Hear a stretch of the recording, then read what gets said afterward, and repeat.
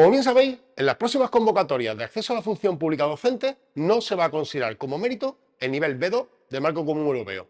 La reciente publicación del Real Decreto 800-2022 de 4 de octubre, el cual modifica el anexo 1 del Real Decreto 276-2007 en lo que se refiere al baremo de mérito de acceso a la función pública docente, así lo determina.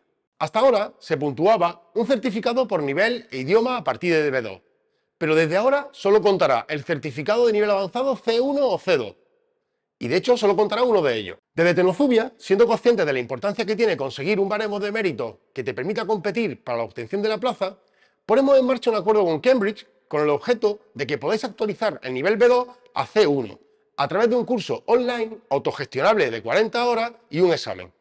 En el siguiente vídeo podrás obtener toda la información acerca de este curso. Desde Cambridge te ofrecemos la solución perfecta para conseguir tu C1 de inglés con objeto de que sumes ese medio punto en el baremo que podría darte la plaza. LinguaSkill es un examen de Cambridge que te permitirá alcanzar tu certificado de nivel C1 en tan solo 48 horas. Además, es el único con el que podrás presentarte a subir nota, si fuera necesario, sin repetir el examen completo. Te ofrecemos un curso práctico autogestionable de unas 40 horas en el que podrás conocer en qué consiste esta prueba y realizar prácticas reales.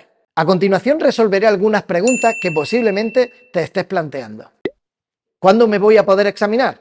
Selecciona el día que mejor te venga, ya que hay exámenes todos los días, incluyendo los fines de semana. ¿Dónde se hace el examen? Puedes hacerlo directamente desde tu casa, aunque también disponemos de numerosas sedes por todo el territorio nacional. ¿Y qué necesito para hacerlo desde casa? Un ordenador con buena conexión a Internet, sistema de audio y micro y webcam. ¿Es suficiente con el curso para alcanzar el nivel C1? Es muy importante que sepas que el curso sirve exclusivamente para practicar pero debes tener el nivel para poder superar la prueba con garantías. ¿Está aceptado LinguaSkill en todas las comunidades autónomas? En la mayoría de ellas sí, pero es necesario que consultes el boletín oficial con la convocatoria de tu comunidad autónoma para asegurarte que sea reconocido.